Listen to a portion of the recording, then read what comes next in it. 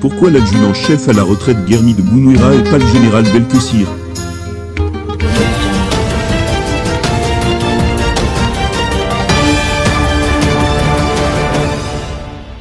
Les autorités algériennes ont confirmé officiellement ce dimanche 2 août l'information rapportée et révélée en premier lieu par Algérie par jeudi dernier concernant l'extradition vers l'Algérie de l'ancien secrétaire particulier du défunt chef d'état-major de la NP, Ahmed Gaïd Salah, à savoir l'adjudant-chef à la retraite Germit Bounouira.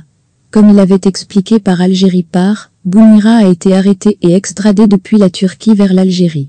Ce dimanche, l'agence de presse officielle l'APS cite un communiqué des services de sécurité dans lequel il est expliqué sur ordre du président de la République, chef suprême des forces armées, ministre de la Défense nationale et en coordination entre nos services de sécurité et les services de sécurité turcs, l'adjudant-chef à la retraite Germit Bounouira, qui avait fui le pays, a été remis jeudi aux autorités. Il comparaîtra devant le juge d'instruction militaire lundi, précise ainsi ce communiqué cité par l'APS. L'affaire est digne d'une série turque à suspense. Germit Bounira a fui l'Algérie en janvier 2020 juste après la mort d'Ahmed Gaïd Salah. Or, il a quitté le territoire national, le plus normalement du monde via l'aéroport international d'Alger. Selon certaines sources, Bounira a quitté directement Alger vers Istanbul en Turquie. D'autres sources ont affirmé qu'il s'était rendu, d'abord, à Dubaï aux Émirats Arabes Unis. Ensuite, il aurait décidé de regagner la Turquie. Cette thèse n'a jamais été démontrée, et d'autres sources concordantes affirment que Boumira est parti directement en Turquie. Même le départ de Boumira ne fait pas l'unanimité, puisque d'autres sources assurent qu'il aurait quitté l'Algérie à partir du début du mois de mars dernier. Malheureusement, nous n'avons aucun moyen de confirmer une version au détriment d'une autre. Un mystère entier entoure cette affaire digne d'un film d'espionnage.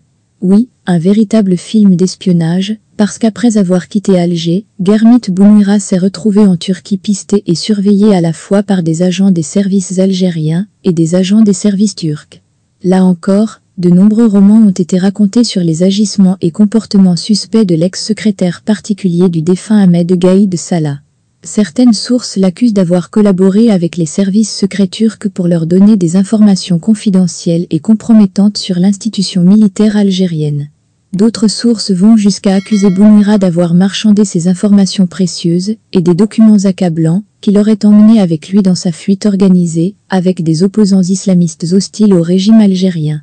Là encore, il est impossible de confirmer ou d'infirmer toutes ces versions.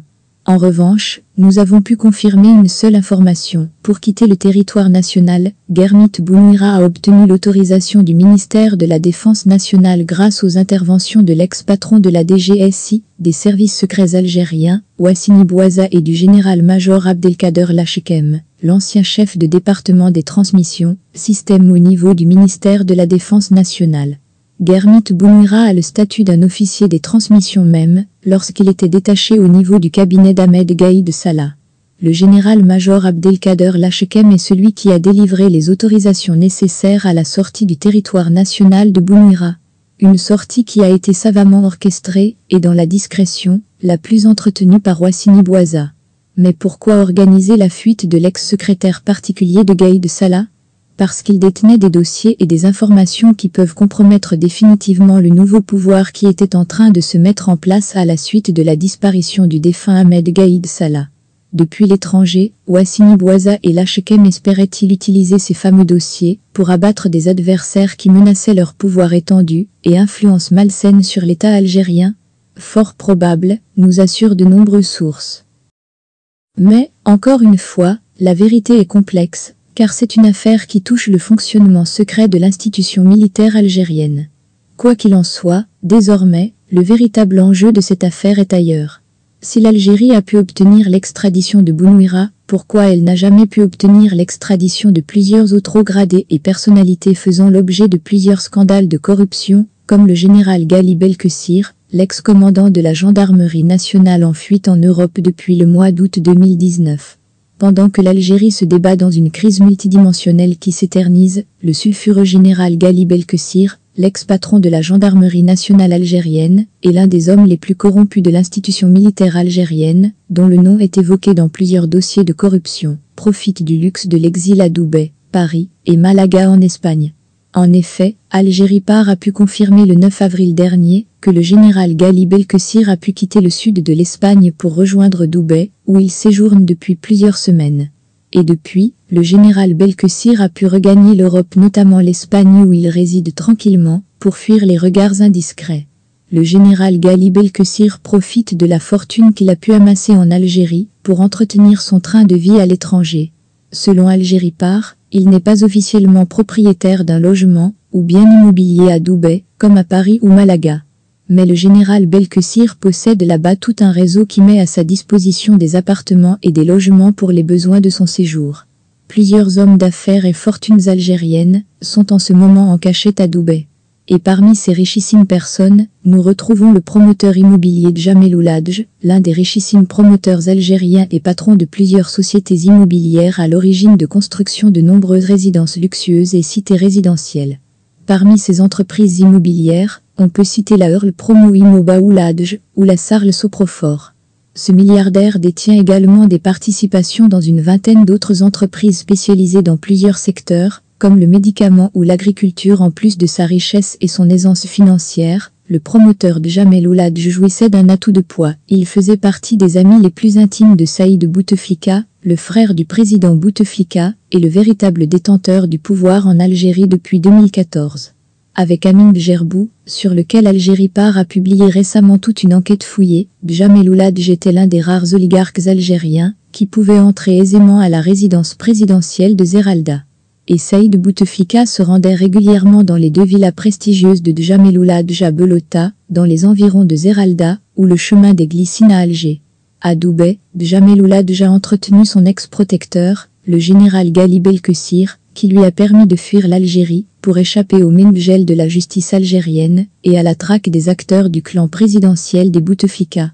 Cependant, Algérie Part a pu confirmer au cours de ses investigations que le général Belkessir possède des avoirs bancaires à Dubaï et il cache une partie de son argent au niveau d'une grosse banque émirati, à savoir la NBD Banque PJSC. On ignore, pour le moment, les montants exacts et précis dissimulés par le général Gali Belkessir dans cette banque à Dubaï, mais Algérie part poursuit ses investigations pour identifier ces sommes en devises détournées et volées en Algérie par le général Gali Belkessir grâce à son poste à la tête de la gendarmerie nationale algérienne et sa longue carrière au sein de ce corps de sécurité. Signalons enfin que le général Gali Belkessir n'a pas fui l'Algérie uniquement avec de l'argent dans ses valises. L'ex-patron de la gendarmerie nationale a pris avec lui tout un disque dur qui contient des preuves accablantes, des dossiers délicats, et il s'agit, entre autres, des images enregistrées par les caméras de surveillance des locaux du milliardaire Kamel Chiki, alias le boucher, le principal suspect dans le scandale de la cocaïne du port d'Oran, emprisonné depuis l'été 2018 à El.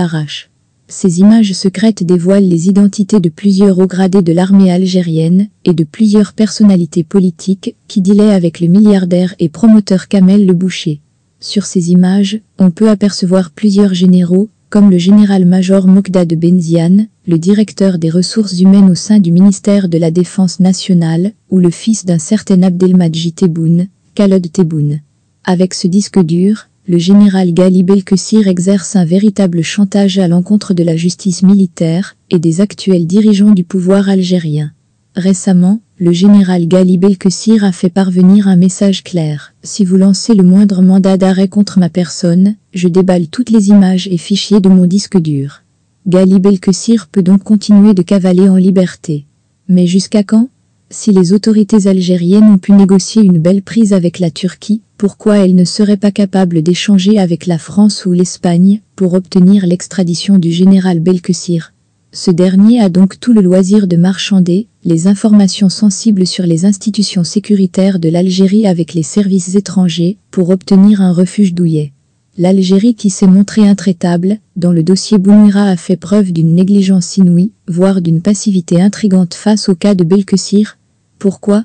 Parce que l'extradition de Belkessir n'arrange pas encore certains décideurs actuels du régime algérien. Pour l'heure, le régime algérien peut s'offrir uniquement un adjudant-chef.